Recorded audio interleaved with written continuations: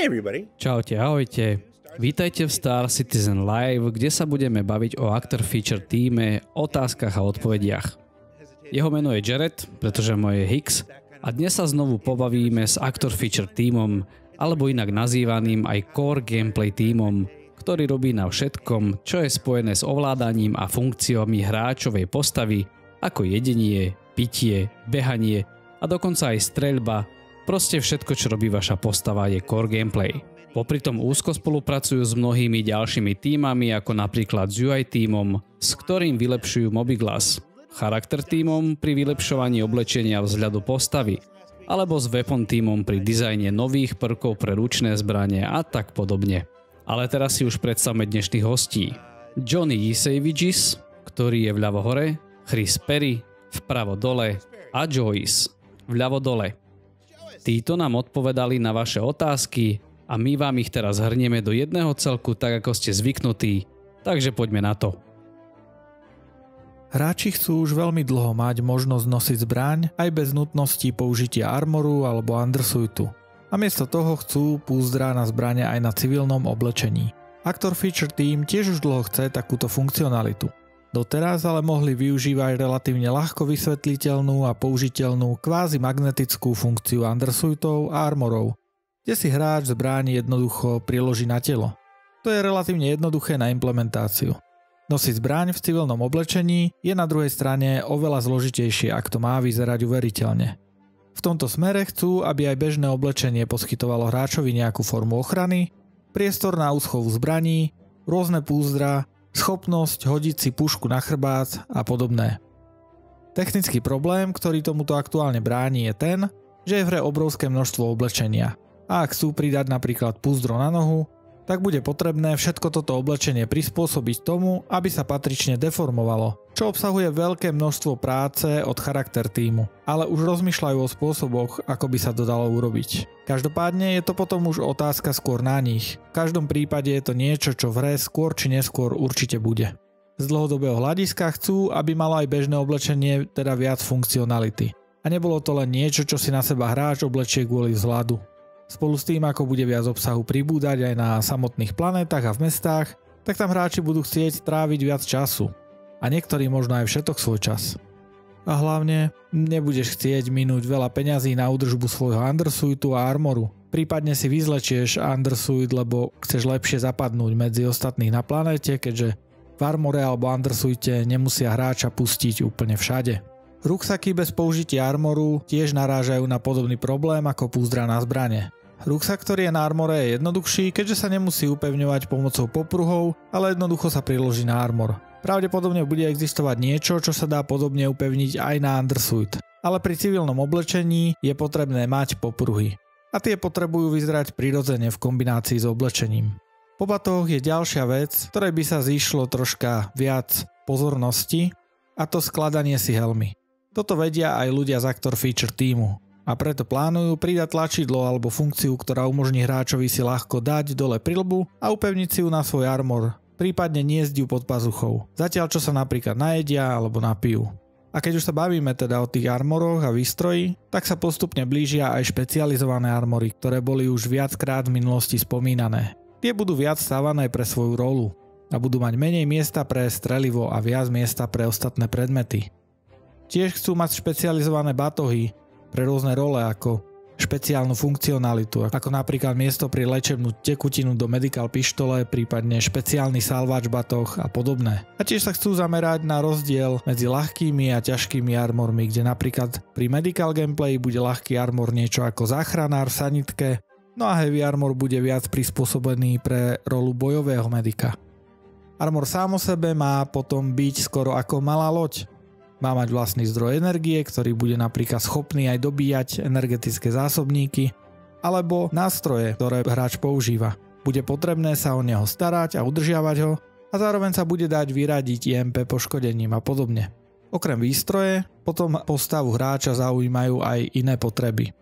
Ako sme spomínali pri prilbách, že bude funkcia na ich zloženie, tak hráči sa pýtali aj na to, či bude možnosť sa najesť a napiť aj bez nutnosti skladať si tú helmu. V tomto smere je mechanika smedu a hladu stále postavená na tom, že si hráč musí veci plánovať vopred, ak ide von na dlhšiu dobu. To znamená, že by sa mal najesť na lodi a zobrať si so sebou dostatočné zásoby na dlhšiu trasu. Samozrejme, samotné undersuity armory budú výrazne komplexnejšie ako sú teraz, takže možno tam niekedy zapracujú aj nejakú formu požívania potravy v poli bez nutnosti zložiť si prílbu. Ale len v prípade, že to neuberie z tejto nosnej myšlienky plánovania a pripravenosti. A keď už je reč o jedle, tak sa môžeme rovno pobaviť aj o záchodoch, hygiene a kúpeľniach. Kúpeľne ako také budú použiteľné, ale ešte podrobne neprebrali gameplay s nimi spojený. Určite z toho ale nechcú robiť Sims, kde budeme kontrolovať ako plný máme močový mechúr a podobné veci. Na druhej strane, hygiena a čistota budú hrať svoj faktor. Nebude to hrať rolu pri bežných činnostiach ako lietanie s loďou, ťaženie, strieľanie a podobné. Ale ak sa hráč dlho neosprchuje, tak to vyvolá patričné reakcie v sociálnej oblasti u NPC. Na nejakom Grimhexe alebo v Pyre to možno bude mať minimálny vplyv. Ale v bežných lokáciách to bude vyvolávať reakcie od komentárov okolo stojacich NPC, až po to, že vás na niektorých miestach nemusia obslúžiť alebo vás vôbec pustiť dnu. Prípadne vás to môže stáť stretnutie s miestnym mission giverom, ktorý sa s vami ani nebude baviť a rovno vás vyhodí von. Toto bude spojené aj s Wear and Tear systémom, čiže opotrebením oblečenia. Nie je to niečo, na čo sa bude musieť hráč zameriavať priamo, ale bude na to musieť brať ohľad. A ako sa hráč dozvie, že to musí riešiť, no veci ako opotrebenie a zašpinenie budú samozrejme priamo viditeľné. Ale pri hygiene to hráč zistí podobne ako v reálnom svete. Buď sám vie, že sa už nejakú dobu nesprchoval, alebo si to vypočuje od ostatných naokolo. Ďalšia pre hráčov veľmi dôležitá vec v rámci výstroje je vedieť si nastaviť vlastný set, vlastný loadout. A samozrejme aj set oblečenia, ktorý si na seba vezme. Star Citizen nechce ísť úplne cestou nejakého menu, kde si to človek vie vybrať a nastaviť, ale chce ísť v tomto smere plne fyzikalizovanou formou. Takže nebudeme mať loadout, ktorý si niekde nastavíme, ale musíme si ho vložiť do skrine, odkiaľ si ho potom budeme môcť vybrať. Set armoru sa tam potom uloží so všetkým, čo je na ňom upevnené ako granáty, pištol, zásobníky alebo inventár po vreckách. Čo sa týka normálneho oblečenia, tak tam si budeme schopní troška customizovať to, čo si na seba zo skrine vyberieme, ale takáto kustomizácia je plánovaná až viac do budúcna. Na druhej strane skrinky na armory a odkladanie kompletných loadoutov je niečo, čo plánujú pridať hneď, ako to bude možné. V podobnom smere chcú riešiť aj inventár ktorý by mala kompletne nahradiť fyzikalizovaná forma v podobe prerábky všetkých lodí, pridania hangárov a bytov pre hráčov. Aktuálna forma inventára je len prvý krok, od ktorého chcú postupne odísť preč. Cieľom je prerobiť všetky lode tak, aby mali reálny fyzikalizovaný inventár, to znamená, že reálne použiteľná každá skriňa v každej lodi a pri malých lodiach inventári podobné ako majú zatiaľ len Gladius, Saber a Starfighter na exteriéri. Začiatok bude samozrejme fyzikalizované cargo a s ním potom príde aj presun lodných komponentov a zbraní vo fyzikalizovanej forme a nie len v neviditeľnom inventári lode ako je to teraz. No a keď prídu hráčské hangáry a byty, tak budú môcť tieto magické lokálne inventáre úplne nahradiť za plne fyzikalizované. To sú ale veci, ktoré potrebujú ešte veľa práce krátkodobom horizonte, ale pridajú pár drobných zmien aj do aktuálneho inventáru, ako rýchly presun veci, pri ktorom nemusíme veci preťahovať cez celú obrazovku a tiež chcú pridať stekovanie, aby sme si viac veci vedeli dať dohromady, aby nám nezaberali polku obrazovky a určite chcú pridať funkciu na presun všetkého z jedného miesta na druhé. V rámci presunu vecí sa ľudia pýtali aj na to, prečo nemôžeme zdvihnúť vozíky, ktoré prevrátime. Vozíky sú niečo, čo chcú ešte ďalej rozširovať, hlavne s blížiacim sa cargo refaktorom a rovnako chcú aj hover vozíky. Ale keďže sú v tomto smere podstatnejšie priority, tak tu zmeny hneď s príchodom cargo refaktoru asi čakať netreba. Pár hráčom chýba aj väčšia variabilita ručných zbraní, takže sa venovali aj tejto téme. V prípade samotnej variability zbraní má aktuálne väčšina kategórií už dostatočnú variabilitu, takže má pridávanie bežných zbraní veľmi nízku prioritu, ak nie sú potrebné pre Squadron 42, keďže tam je aktuálne zameranie tohto týmu. Každopádne sú v príprave viac unikátne zbranie s viac špeciálnou funkcionalitou, ale tie potrebujú o niečo viac práce. Napríklad Kuša Ultiflex Novia je jedna z takýchto unikátnych zbraní. Pri kuši napríklad človek očakáva, že šíp ostane trčať z ľudí alebo predmetov, ktoré zasiahne a to vyžaduje napríklad aj nejakú prácu od physics týmu, ktorý má samozrejme aktuálne dôležitejšie priority. Podobne sú na tom aj elektrónové zbranie od Voltu, ako napríklad puška Parallax, ktorá má postupný režim strelby, ktorý prechádza od jednotlivých striel až do plného súvislého lúču. A tiež má potenciál pre prehrievanie, takže je to tiež niečo, čo potrebuje viac práce od engineering týmu. Ďalšia kategória sú potom nesmrtiace zbranie ktoré zatiaľ nemajú žiadny dátum, kedy by mali prísť, keďže prioritizácia v tomto smere je zameraná na skvadronu. Ale určite chcú pridať aspoň jednu, ktorá už je v pipeline, hlavne keď sa začnú rozširovať bounty hunting mechaniky. Z pohľadu dizajnu by boli schopní nesmrtiacu zbraň urobiť už aj teraz, ale cieľ je pridať ju aj s patričným gameplayom, aby dokázala plniť svoj účel a tiež chcú robiť dostatočnú spätnú väzbu pri zásahu, aby hráč vedel, že musí niečo urobiť a že bol trafený takouto zbráňou, ak nechce byť omráčený samozrejme. Príslušenstvo na zbranie je tiež v pláne rozšíriť o veci ako dvojnožky, ktoré nám pomôžu stabilizovať zbranie a chcú pridať aj ďalšie príslušenstvo pod hlaveň, ale tam potrebujú ešte viac technických prostriedkov na úpravu správania sa zbraní s podvesom. Okrem nového príslušenstva chcú mať aj pri aktuálnych zameriavačoch poriadny paralax, teda efekt holografického zameriavača, ako je v reále, alebo aj v iných hrách, ale je to v podstate len otázkou prioritizácie, keďže z technologického pohľadu sa práve na oblasť zameriavačov pre ručné zbranie aktuálne nezameriavajú a tie, čo máme, sú použiteľné. A keď už sme pri bounty huntingu, tak spútavanie bude určite faktor, ktorý do hry plánujú pridať. Ešte ale nevedia, akú formu presne zvolia, či nejaké klasické putá, stiahovacie pásky alebo niečo úplne iné, ale určite bude mať hráč schopnosť spútať ako ruky, tak aj nohy nezávisle od seba s patričnými dôsledkami, aby ste mohli svoju bounty bezpečne odniesť potom do krajopodov na svojej lodi. No a čo sa týka odnášania ľudí týka, tak samozrejme nechcú, aby všetkých ťahali len po zemi, či už zranených, alebo teda do budúcna aj tie banty. A preto chcú pridať aj nesenie tela na pleciach. A keď je reč o zranených, tak medical gameplay je tiež niečo, čo sa bude ďalej rozširovať. Ale väčšina mechanik spojených s medical gameplayom vrátane permanentnej smrti zatiaľ ešte nie je v hre, takže im chýba dostatočná dôležitosť. Na začiatok ale určite chcú, aby Medical Pistol nebola úplne automatický univerzálny nástroj na všetko. Ale rovnako ako v iných oblastiach Star Citizenu sa chcú zamerať na schopnosti samotného hráča. Ďalšia vec, ktorú chcú pridať, sú náklady spojené so smrťou. Či už v prípade medical postele v lodi, kde bude spotrebovávať materiál, alebo v nemocniciach, kde si za každý respawn budeme musieť aj zaplatiť. To znamená, že aj ľudia s medical loďami budú schopní potom zarábať na ich použití a zároveň sa budú musieť starať o to, aby mali dostatok prostriedkov a zásob na ich prevádzku.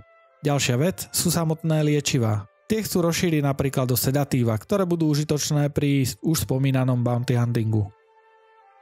Rovnako chcú pridať aj drogy na zlepšenie schopností ako dlhší beh, väčšia sila, menšie kývanie sa zbrane, ale tie budú mať zase svoje negatívne dôsledky po ich použití. A keď už je reč o prežití, tak to, čo nám aktuálne chýba, je schopnosť prežiť katapultovanie sa v atmosfére.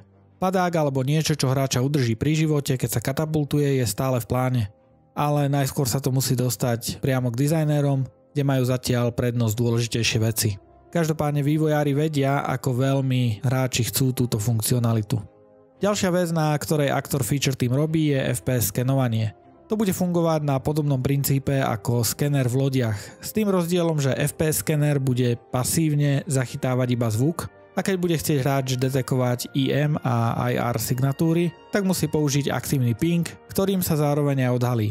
Skenovanie bude prebiehať za pomoci prilby a je hadu a nebude k tomu žiadne samostatné zariadenie.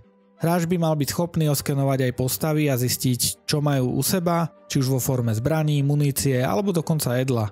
Prípadne by mal hráč byť schopný zdetekovať aj ich zranenia. Pomocou pingu by mal hráč vedieť zdetekovať potom aj ťažiteľné minerály a ostatné veci, ktoré môže detekovať aj loď. Ak hráč nebude mať na sebe prílbu, tak bude musieť použiť špeciálne kontaktné šošovky. A keďže FPS skenovanie je prepojené aj s loďami, tak toto všetko príde až za updateom celého tohto systému, ktorý pridá nielen FPS skenovanie, ale vylepší aj to aktuálne, čo máme na lodiach. A na záver sa presuňme troška do vesmíru.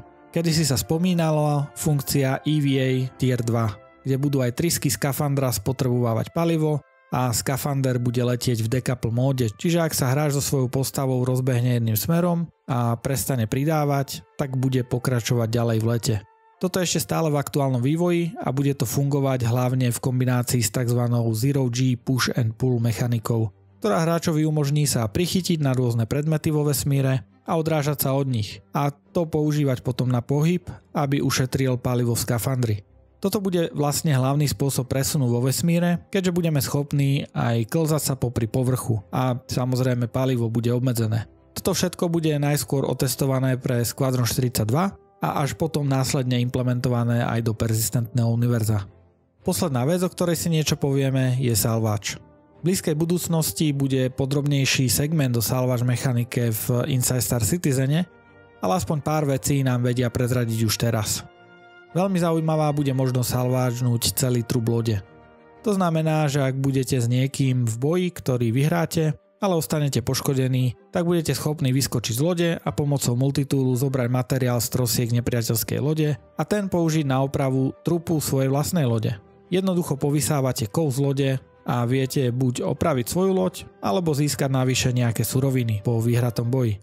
V rámci salvážu ale musia samozrejme poriešiť mnoho vecí na pozadí hry, aby nejaký vrak po nepriateľskej lodi aj ostal.